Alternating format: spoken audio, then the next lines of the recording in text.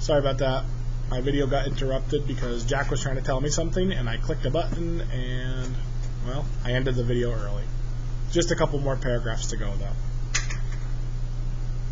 The number two thing is that we got a ping pong table this summer.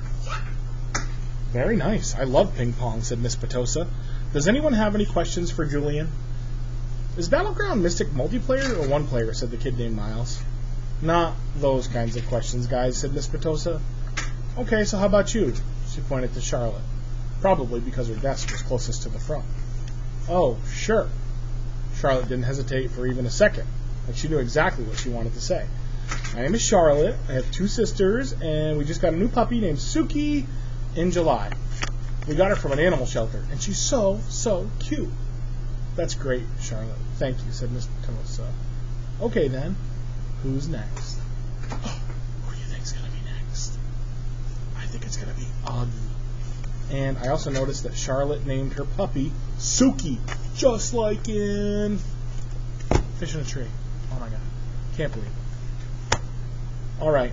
Well, I think we're probably going to hear from Augie in the next chapter, but we'll have to wait until tomorrow. Sorry about having to do two videos. Um, hopefully, you watch them in the correct order so that this makes sense. Have a great day, guys, and I will see you tomorrow.